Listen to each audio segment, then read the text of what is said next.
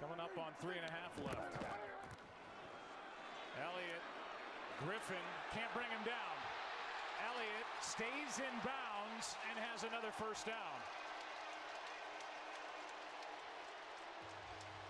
Got such rare combinations of speed, quickness, power, and like I said, he just he finishes each and every time. He's just he came into this season after the